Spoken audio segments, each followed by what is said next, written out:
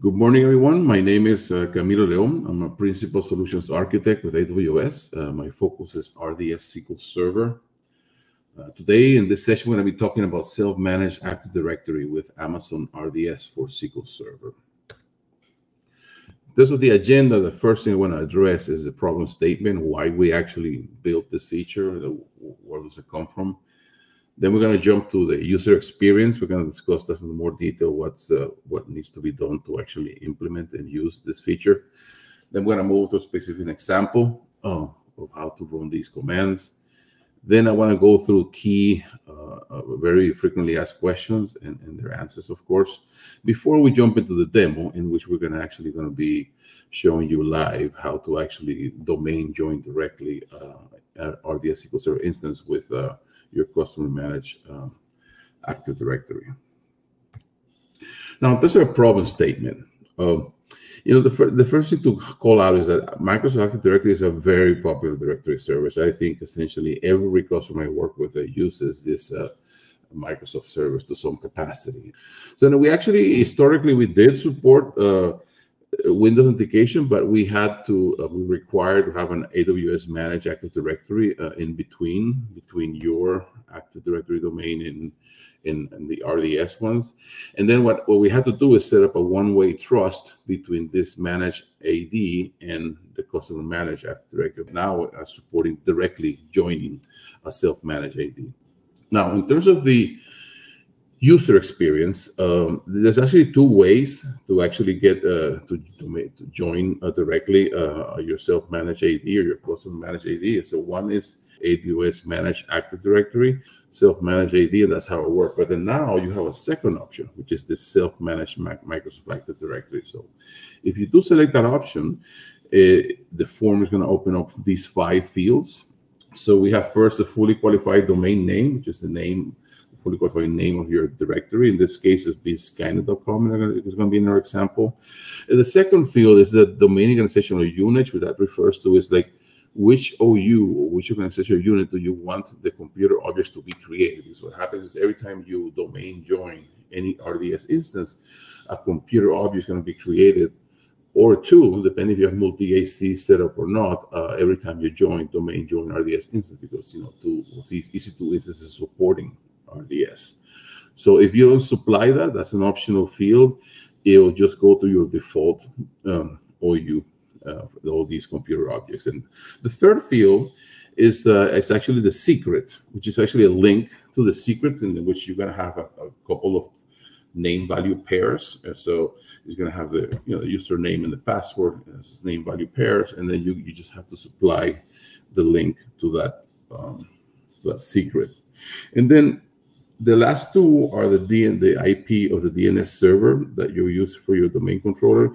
If you only have one, you can just repeat the same IP twice, uh, but then you have the option to supply up to two DNS servers uh, for your Active Directory forest.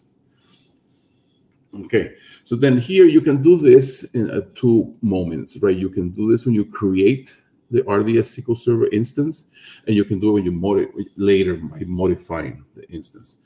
And then this, of course, you can be you can do it also via PowerShell or the uh, AWS CLI command, which is what you're looking at here. And in this case, we're actually doing the same thing we did in the slide before, but using a command in which you're going to have some additional switches that are being uh, uh, enabled for you for the modified database instance and the create database instance that allows you to set up these fields so you can actually have your self-managed AD integration.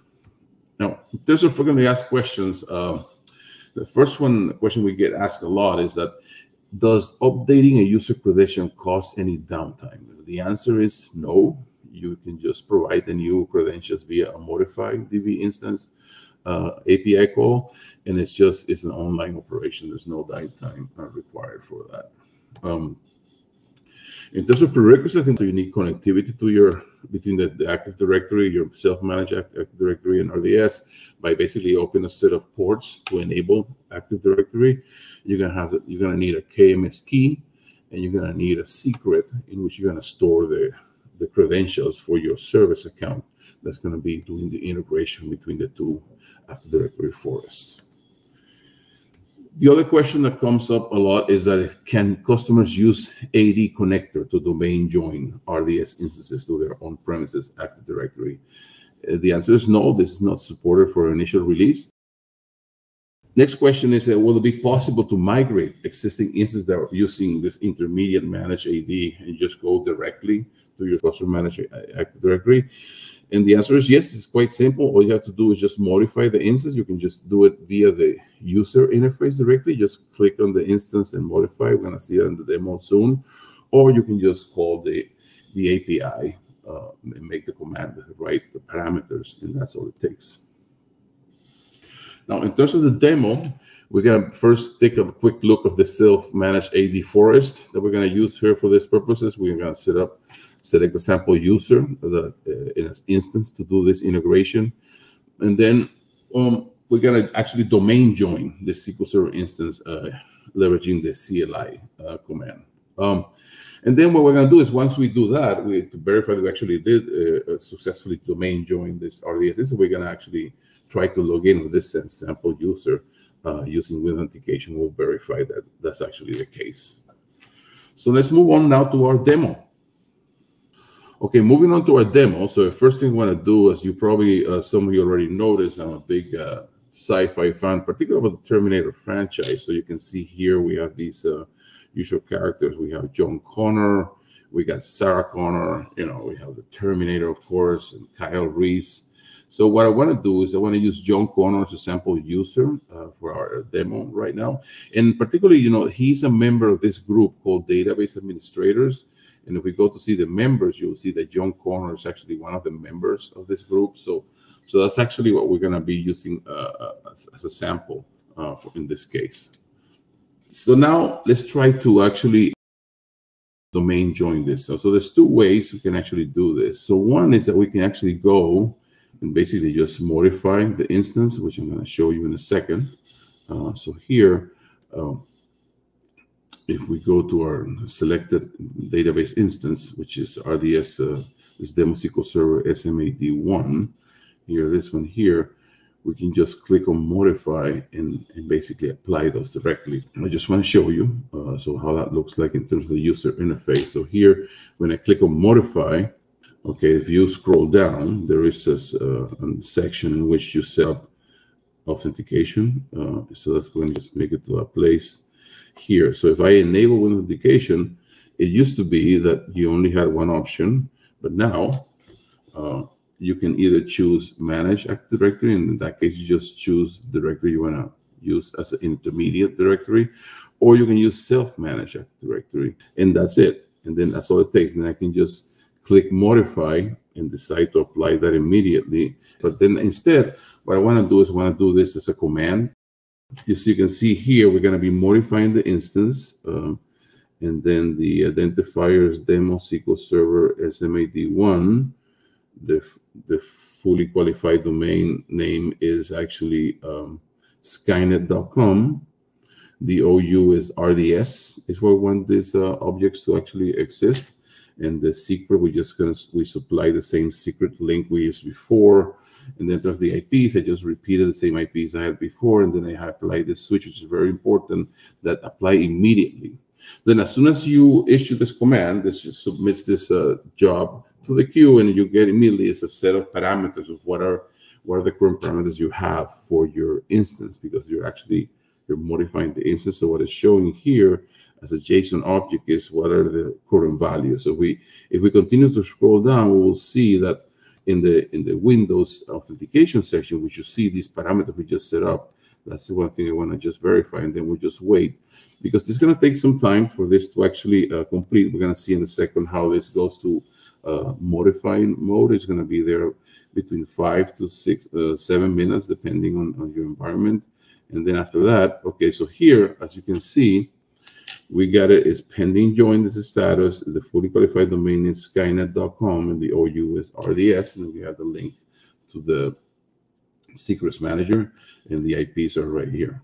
So then after that, so just, you know, let's say command complete. So we, we just, we submitted the modify command and we're just going to go to the console and actually uh, just verify that we that we actually did submit that modification request. And then uh, as soon as it completes, uh, we will um, we'll try to connect directly, leveraging Windows Authentication in our in our sample server that's actually a client that, that for VI purposes that we had.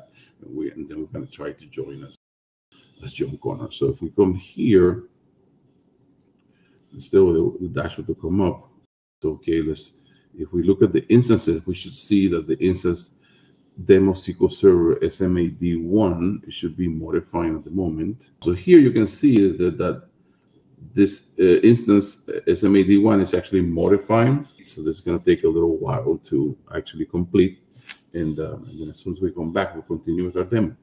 Now we have our uh, instance finally is domain join. So we're just going to verify that in the interface first. So we're going to log and navigate here to the instance properties, just check the connectivity settings and see where the, which domain this um, instance is joined to. So if you can see here, if we scroll down, you'll see that we are joined to the skynet.com directory. Uh, so now we're going to do to verify that, and it's in the OU RDS. So we're going to go back to our server in, in which we have our SSRS client, and we're going to try to um, to connect to first. What I'm going to do is I connected, remember before with SQL Server login, that's with the master user. So what I'm going to do is I'm going to first add the, the login database administrators uh, to this uh, instance. Uh, so because now it's this is join domain join, I'm just going to go and add the, instead of adding specific user, I want to add the database administrators group. And then since uh, John Connor is a member of that group with Kyle Reese, um, it, they just it should have automatically have access. So here they go. I'm going to connect to the same server, but this time I'm going to be using Windows authentication. So instead of SQL Server authentication, I'm going to use Windows authentication, and we're going to be authenticating as John Connor here. So we can see here it connects without a problem. So then now I just want to verify how did I connect it because that's the final thing point I want to make is that at the moment uh, in this current release we only support NTLM for authentication, with authentication. We don't support Kerberos yet. We're actively working uh, on it. It's going to be available pretty soon. Uh, but at the moment we are only support NTLM. So just to verify that, I want to just select this query and just look at the DMV uh, the exec connections. And you can see here the authentication scheme is NTLM. So basically what we did is we, we definitely, we, we issued this, the modified DB instance with the right parameters. We waited for a little while. It domain joined directly our RDS SQL Server instance. And now we, we added a group uh, just like in Windows Authentication to, the, to our security. And now we could just log in directly, uh, leveraging Windows Authentication in groups, which is basically how uh, people use this. And that completes our demo for today. I hope you enjoyed it and thank you very much.